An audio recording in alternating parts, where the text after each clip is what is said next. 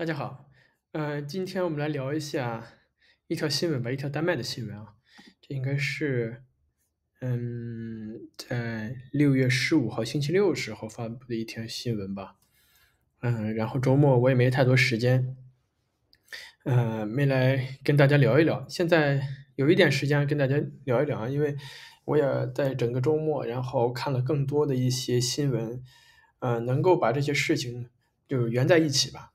这条新闻就是说，这是丹麦的一个国防部长说，呃，在保洪的一个会议上说，所有的丹麦人必须呃准备好三天的这种应急物品啊。你看，我们看这个图片上，你看有什么水啊，什么卫生纸啊，什么电池啊，什么之类的吧。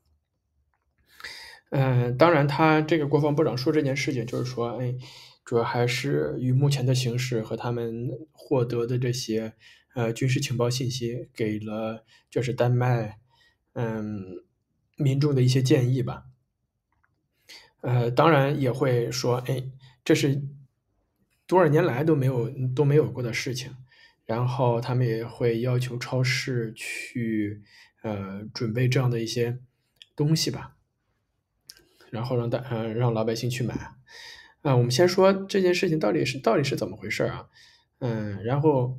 这条新闻主要讲的就是说，嗯，国防部长说，由于现在的局势形势啊，和面临着这种威胁，他不得，他就建议丹麦的这些民众，然后准备这些东西，比如说水、食物，呃，应急药品，然后一些，呃，应急的一些床单啊，或者是衣服啊，保暖措施，还有一些，嗯，像一些平时。生活中必备的一些东西，对不对？然后说厕纸啊之类的，然后还有一些太阳能呃的电池，或者是嗯现金、银行卡之类。然后还有这个也很重要啊，就是说一个无线电接收器，然后电池最好是用这种太阳能式的，嗯。嗯，我觉得他为什么说这件事情，肯定下面也也也是说了，他主要是因为这种，呃，俄乌战争，因为现在俄乌战争又面临的一个新的一个形势。嗯，他为什么这么说？但是他没有直接说，当然他也提了一点，说啊，可能还会有这种，呃，恶劣天气的一些呃威胁吧。因为大家都知道，现在的这个环境是相当不好。我们在国内其实也也可以感觉到，啊，有的地方就是热到四十度，或者像印度。温度都到五十二度，这样的一些天气，恶劣天气，然后南方一直可能是下雨啊，美国的飓风啊，嗯，冰冻啊，那丹麦也可能会面临很多的这种台风这样的一些天气。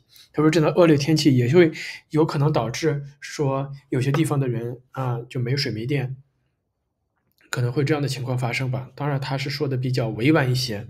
当然，其实说白了，主要原因还是由于这种俄乌战争啊。当然，后面他也说了，之前其他的一些国家已经排在前面了。我们之前看到说，嗯，瑞典他也曾经报过类似的一项信息，说我们要为未来的战争做好准备。然后，可能挪威也有有这样一些消息吧。好，我们回过头来说一说啊，这件事情到底是怎么回事？为什么突然之间大家都开始转向说啊？因为很多很多年我们已经不谈这种俄乌战争了，对不对？你会觉得啊，快两年了吧，还是两年多了，又打了这么多，他还一直打下去，嗯，大家都不再谈了。然后最近这个事态又发生了一些变化，因为呃，泽连斯基就是乌克兰，他们跟瑞士搞了一个和平峰会。啊，意思就是说，他邀请全世界的大部分国家去参加这个和平峰会，讨论俄乌战争的那个呃和平问题。但这个比较神奇的地方，第一，你讨论俄乌战争的和平问题，他没有，并没有邀请俄罗斯。然后呢，就是美国拜登也没有去，当然中国习近平也没有去，这就很难了，对不对？你几个常任理事国国家或者是战争双方都没有到的话，这个和平峰会。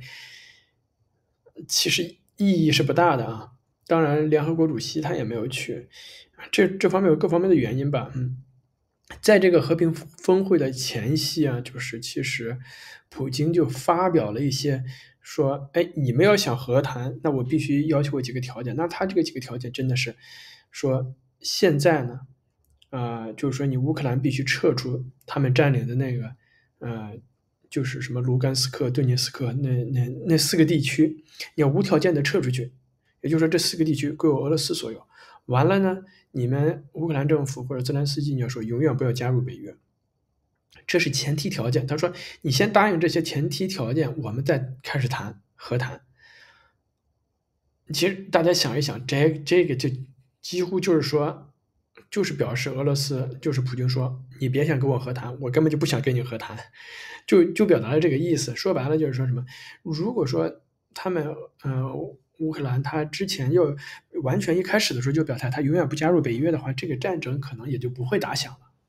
啊，就当时他的对吧，整个国家也不会被打废了，然后那那四个地区也不会直接又被俄罗斯给吞并了。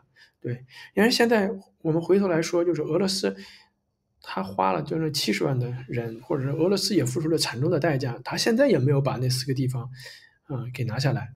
那你说我说一句话就让乌克兰直接就那那四个地方撤出去，那也是完全不现实的，几乎就不可能的事情。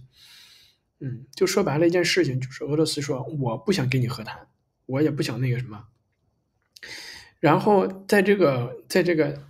这个什么和平峰会上，或者这件事情，泽连斯基他们也表也表达了这个意思，对吧？你俄罗斯他都不想和谈，那我怎么办呢？他召召开了，虽然叫一个和平峰会，那说白了其实就是泽连斯基又一次想拉拢，对吧？支持他的一些国家和地区，给我钱，给我装备，我要跟俄罗斯打，这个可就要命了。这个你其实可以慢慢的就就往这边面发现，我们在向着这个世界在向着第四第三次世界大战就是越来越近。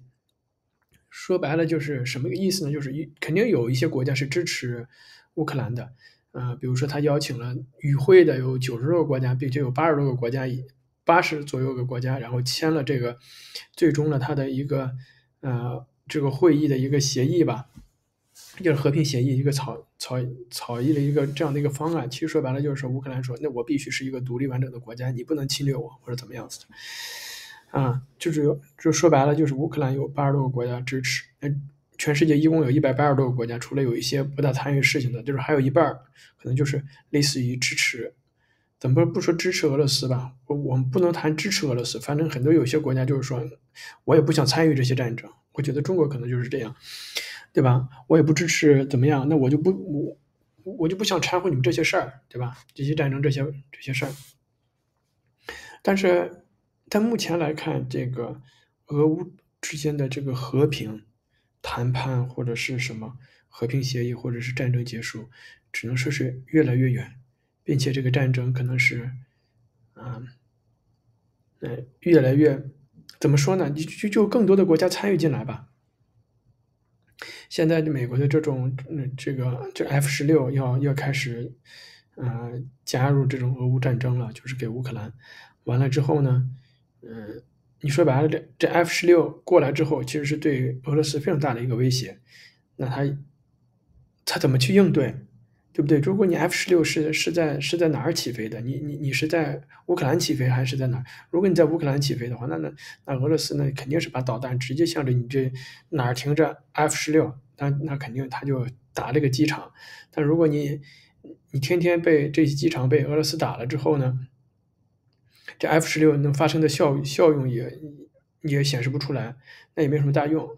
那就说白了，那那北约就会想，我如果不从俄罗斯起飞，比如说我从波兰起飞，比如说我从其他的，也就是挨着那个乌呃乌克兰比较近的，比如说，嗯，对吧？罗马尼亚呀，或者是这些地方起飞的话，那就非常大的问题。最最大的问题就是俄罗斯对对于这些军事设施它打不打，对不对？那你你说你你其他国家，比如说在波兰起飞的话，那你就说波兰你用机场完全的，就是借给了这种军事设施，你开始打我俄罗斯了，那我俄罗斯当然有可能去把你这个机场给直接给炸了。如果你说俄罗斯把波兰的这这种机场给炸了，那说明这个整个的这种战争就会就是开始激化了，就开始说那是俄罗斯和北约之间的战争了。当然，我们现在也可能清楚的来看这件事情，就是说。啊，几乎也就是乌克兰和北约的战争了。嗯，你看，因为北约除了不明面张明目张胆的进入战争去去直接宣战的话，基本上要钱给钱，要要武器给武器，一那个要培训有培训，对吧？要雇佣兵有雇佣兵，啊，就直接就就差直接派军队了。但是如果你真的这样打起来，那那那就是俄罗斯和北约之间的真正的就是直接交火了。那俄那那。如果丹麦政府的话，就是他看到这样的情况发生，这样的这样的概率在无限大的接近的话，那他会要求老百姓的，对不对？你如果是说，呃，如果是说俄罗斯和北约打起战争来，那丹丹麦是属于北约的，就是像瑞典，他们都都属于北约的，瑞典也加入北约了。然后北约的话，就是要求的话，就是说，如果你北约任何一个成员国与其他国家发生战争的话，这些北约北约的。呃，成员国都都处于战争之中，都需要去出兵或者是怎么样去去打的。那你要你也不敢保证俄罗斯跟对丹麦本土做不做军事打击之类的。所以说这是一个最坏的一个情况吧。但是呢，嗯，比如说这些这些政府啊，各个地方的政府或者什么样，他们肯定知道的信息或者知道的情报比我们要多得多，然后他们才会发布这样的一些东西。第一就是说。呃，提醒自己的老百姓。第二呢，也也是，嗯，对吧？也会有一些那个什么，也会有有有自己的算盘在内。就是你看，我们快面临战争的威胁了，对我们的议会，你会不会给我们这种国防部增加一些预算？啊，我们要不要开始？对吧？你你你不给我这样预算的话，那我以后真正的战争过来的时候，我们去怎么去准备这件事情？当然，这些这些国防部长或者怎么样，他们说的都是都会比较激进，就是就是比较恐怖，然后进行啊让老百姓比较着急啊，比较害怕，然后说哎，OK，当那个议会给他批预算预算的时候，老百姓才不会。有那么大的反弹嘛？说，哎呦，你为什么要这么多钱？那我们交的税都都让你去跑去那个什么？就说明说白说白了，还是说这个国防部他说，即便是没有战争，像我们想象恶恶化到那个地步的话，我但我自己也不认为这会恶化到那种地步啊。呃，即便不到那种地步，那他的丹麦的国防预算其实他还是需要像倾斜于支持乌克兰，对不对？我支持你几架飞机啊，或者是我我我还需要再。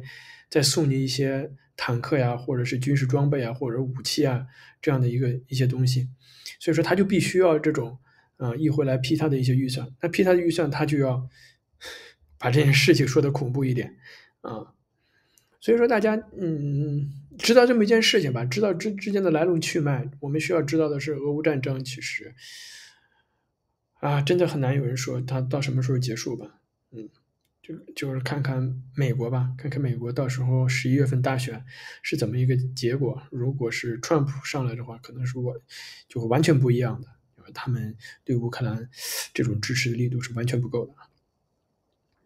嗯，这是一个重要的一个时间点。然后其余的就是看双方谁能撑得住了，俄罗斯经济会不会出问题，就是乌克兰还有没有最后的嗯。人呐，或者是军队，然后把这场战争继续打下去吧。嗯，反正说白了就是就是这么回事儿。我觉得大家也不用特别的担心和和那个焦虑。嗯，主要是你知道其中的来龙去脉之后，大比方就理解他为什么说这些事情。然后这样的其实概率也是不是很大的。然后他主要是我是觉得他主要是为了他批的一些国防预算。这样的一个目的在里面吧，嗯，但是呢，其实我们也看到，嗯，这个战争其实真的是就在我们周围，对吧？俄乌也好，巴以也好，对，还是还是希望世界和平吧。就是和平这么些年，嗯，发展是蛮好的。突然间战争对任何一个人、任何一个国家、任何一个个人的话。任何环境的话，都不是一个很好的一个现象，好吧？谢谢大家。